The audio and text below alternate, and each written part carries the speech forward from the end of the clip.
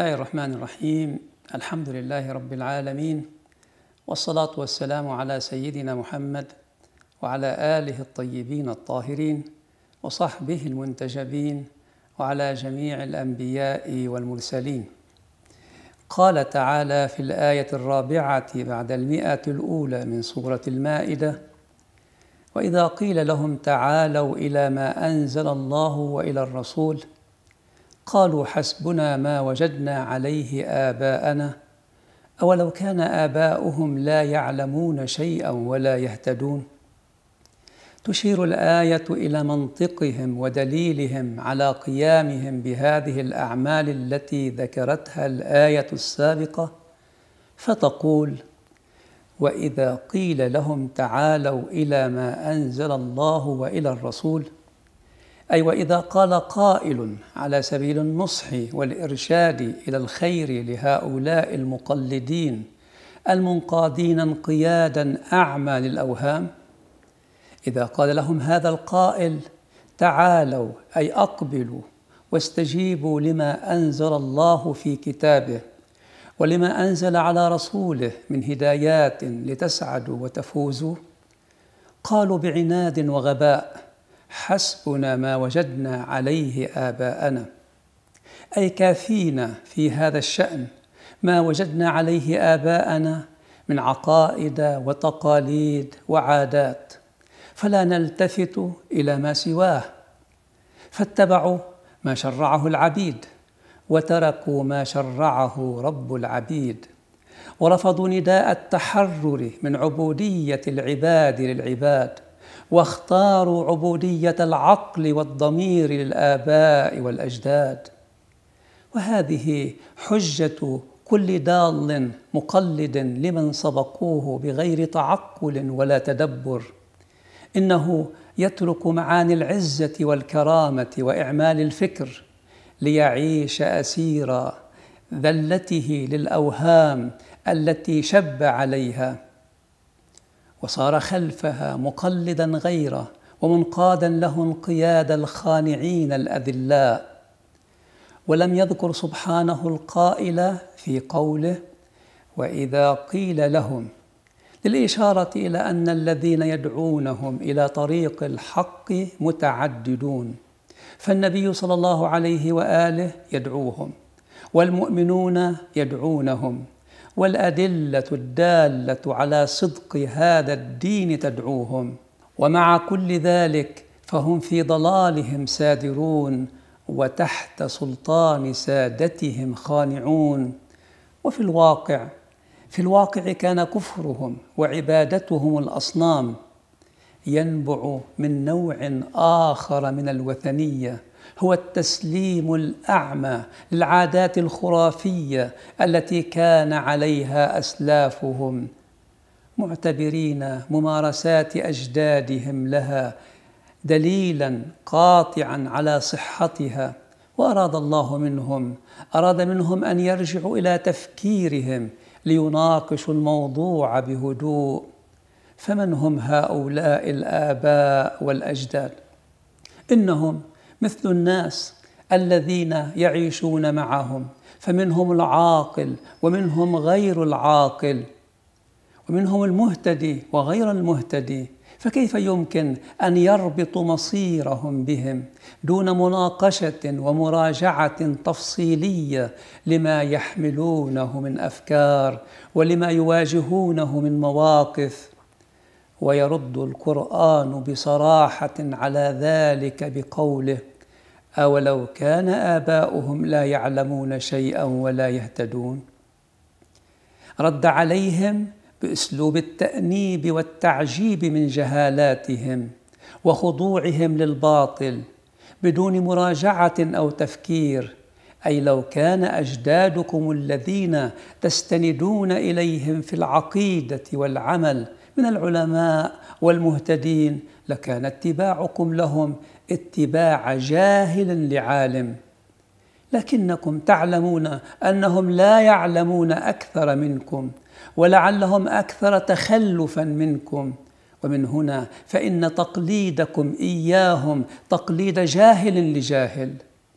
وهو مذموم في ميزان العقل وليس معنى هذا الاستنكار لاتباعهم لآبائهم.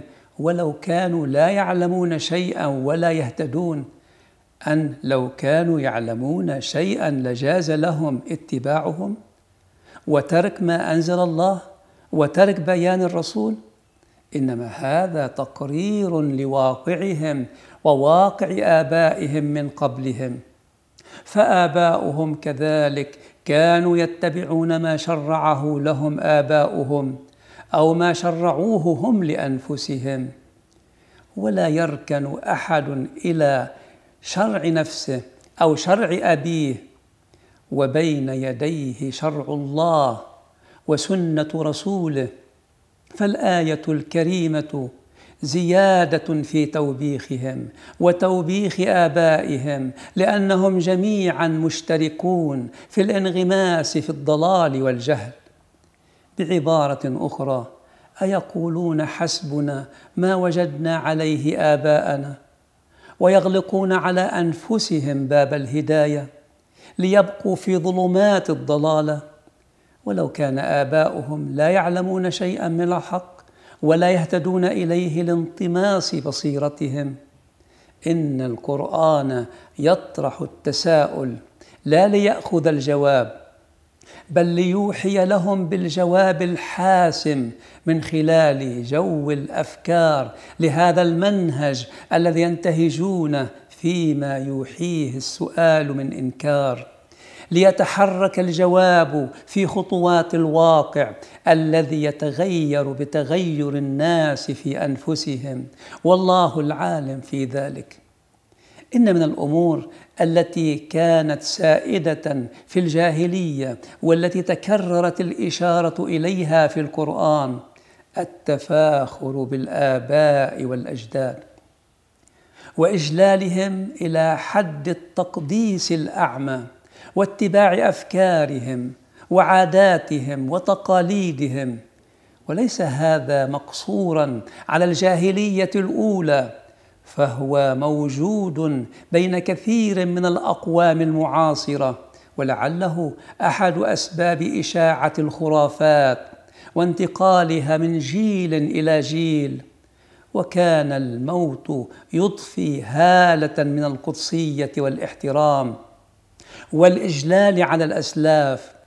لا شك أن روح الاعتراف بالجميل ورعاية المبادئ الإنسانية توجب علينا احترام الماضين من آبائنا وأجدادنا ولكن لا أن نعتبرهم معصومين عن كل خطأ ومصونين عن كل نقد وتجريح لأفكارهم وسلوكهم فنتبع خرافاتهم ونقلدهم فيها تقليدا أعمى.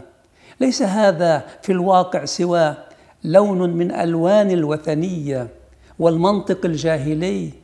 إننا من الممكن أن نحترم أفكارهم وتقاليدهم المفيدة ونحطم في الوقت نفسه عاداتهم غير الصحيحة خاصة وأن الأجيال الحديثة أوسع علما وأعمق معرفة من الأجيال السابقة بسبب مضي الزمن وتقدم العلم والتجربة.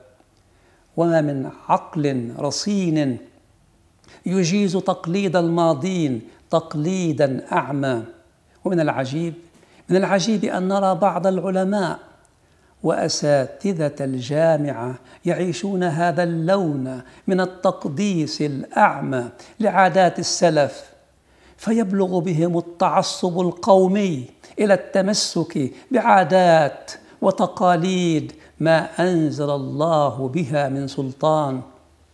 متبعين بذلك منطق العرب في جاهليتهم الأولى. وجاء الإسلام. جاء الإسلام ليناقش هذا الخط في التصور والممارسة وليخطط للناس المنهج الصحيح في ذلك كله. فللتاريخ, فللتاريخ علاقته بالحاضر. من موقع العاطفة البسيطة التي تشد الإنسان إلى آبائه وأجداده وحركته في الفكر والواقع من خلال الدروس والعبر التي يمكن أن يقدمها للأجيال المقبلة. فيما خاضه الأولون من تجارب الحياة وليس له فيما عدا ذلك أي دور بل هو في أشخاصه ورموزه وحوادثه مجرد مرحلة من مراحل الزمن الكثيرة الحافلة بالأخطاء والانحرافات تماما كما هو الحاضر في حركته الفكرية والعملية وكما هو المستقبل بما يختزنه في داخله من أخطاء محتملة في التصور والممارسة والعلاقات لأن هذا الماضي كان حاضرا وسيكون الحاضر ماضيا غدا والمستقبل بعد غد ماضيا من الماضي. الذي يقدم للتاريخ فيما يكتبه المؤرخون كثيرا من الهزائم والانتصارات وكثيرا من حالات الفشل والنجاح والخطأ والصواب. لتستمر الرحلة البشرية في هذا الاتجاه إلى نهاية العالم.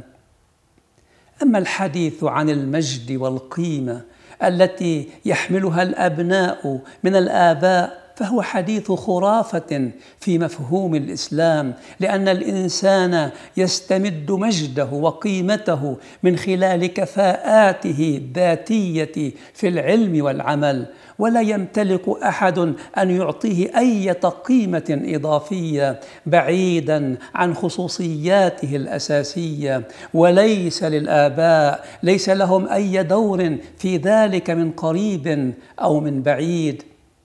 فإذا كان الأب صالحا فصلاحه لنفسه وإذا كان غير صالح فإنه يتحمل مسؤولية ذلك. وهكذا الأبناء بالنسبة إلى الآباء. ولهذا فإن خطأ الآباء في تصوراتهم لا يضعف قيمة الأبناء إذا اعترفوا بذلك أو غيروه بل يؤكد قيمتهم بما يدل عليه من استقلالية في الفكر وأصالة في الشخصية وابتعاد عن الانطلاق مع العاطفة على حساب الأفكار والمبادئ. والسلام عليكم ورحمة الله وبركاته.